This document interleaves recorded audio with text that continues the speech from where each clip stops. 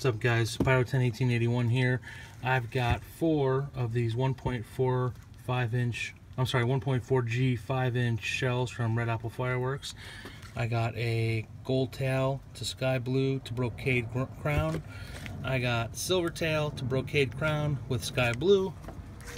I got gold tail to magenta to brocade crown.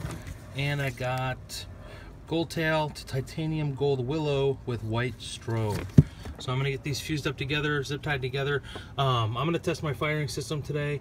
What I, I really wanna know is if my firing system will fire two cues, and or I'm sorry, two uh, electronic matches in the same cue. I know I've seen videos on YouTube that says it can, but I just wanna make sure, because my finale kind of depends on it, I want I want to have, I'll show you the video later what I want to do, but I need to plug in two, two ports into each cue. So we're going to take this for a spin and see how it goes.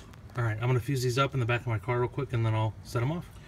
What up, what up guys? Okay, so I did a real quick, real sloppy fuse job on this, on both of these mortars. I just wanted to get them fused together real quick. Uh, I got a little bit of a lull in the rain, so um, so I gotta hurry. But I got my firing system I got good continuity here. Switch to test. You see, come on. Oh, the green light's on on Q1. I've got both talons plugged into Q1, so I'm gonna go test it. Let's check it out. Okay guys, here we go. I got a nice little low in the rain here. Got my firing system set up. And you can't see it, but trust me, it's set up. Got my mortar right there, which you also can't see. So I'm gonna hit Q1 and we'll see if it works.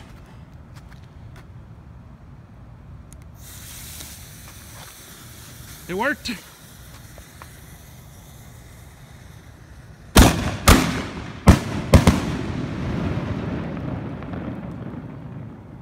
Okay guys, so I know you couldn't tell from the video probably because it was really dark and it just sucked, but the, the firing system worked wonderfully. I did plug uh, both I fused them up separately and I did plug them both into port one here and they both went off. It fired successfully, which I'm really, really happy about. That being said, and I know you guys couldn't tell from the video, but uh, I was a little upset with the performance on this 1.4G 1.4G 5 inch uh, canister shell, honestly. The uh, It's raining, or it was raining all day, and maybe it's the humidity, I don't know, but they seem to break low, and I don't mean low for a five inch shell, I mean low for any canister shell. And I only fired three, so I, I wired up four, or I fused up four, but only three fired. One of them, the the fuse just stopped stopped burning at about five inches, and it didn't like it didn't go off. And I don't know why. I don't. Again, I don't I don't know what's going on. It lit. The firing system lit it. It just stopped. So maybe the fuse got wet it's not raining anymore, but there's humidity in the air. Maybe it's, I don't know, maybe it got wet. But um, you guys will see in the video, there's uh, seemed to be a lot of debris, a lot of stuff still on fire, blowing into my neighbor's yards, uh, places where I couldn't control where it went, and that kind of bothers me.